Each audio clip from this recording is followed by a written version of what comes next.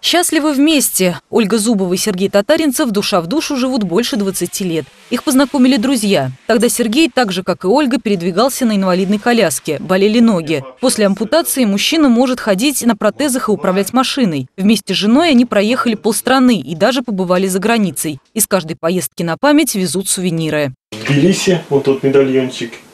Это вот Греция, Поднимались в горы, плавали в море. В семейном архиве сотни фотографий из России, Абхазии, Греции и Грузии. Особенно запоминаются места, где для людей с ограниченными возможностями здоровья оборудованы специальные площадки. В Крыму пляж, в Батуми, например, для колясочников есть специальные качели. Качели специальные на коляске, туда прям заезжаешь и катаешься.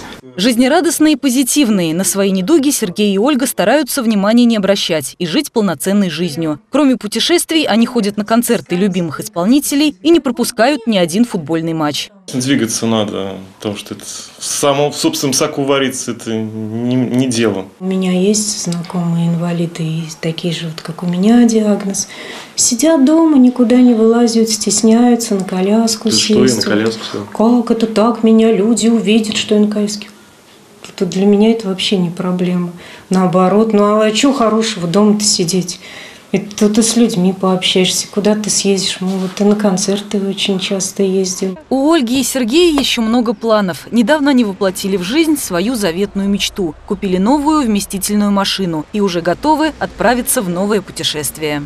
Лариса Шлафаст, Станислав Левин. События.